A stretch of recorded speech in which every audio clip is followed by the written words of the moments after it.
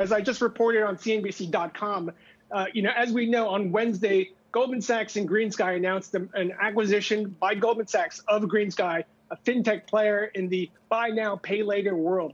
And so uh, you see this, unfortunately, sometimes with acquisitions that involve public companies.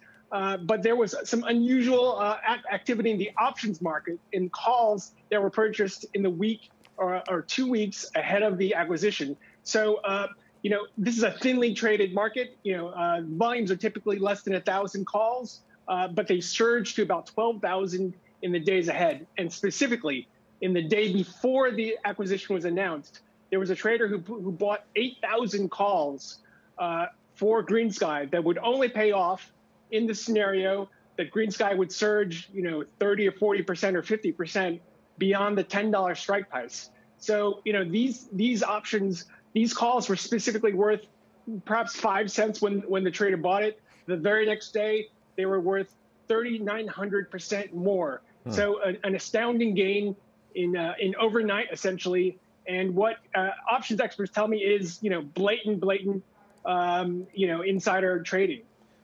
Uh, I'd like to go to one options expert, Jon Najarian. I'm curious as what your reaction is. You, you often, you know, when you do unusual activity, Jon, um, you always say, hey, maybe this was just good fortune, or maybe I think the, the, the way you say it is somebody had tomorrow's newspaper today.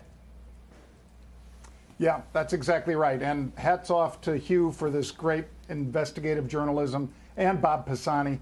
Um, yeah, Scott, the the likelihood that there's a coincidence here that somebody bought 8,000 calls for a nickel uh, that ended up going uh, so that $40,000 investment became worth nearly $2 million. Um, that coincidence just doesn't smell right. I suspect that just like Hugh has been writing, that a lot of people will be looking into this to see because into Labor Day, Scott, it was trading about 153 contracts a day. Um, we cite uh, our blog, we put it up last week for unusual activity on the 9th of September.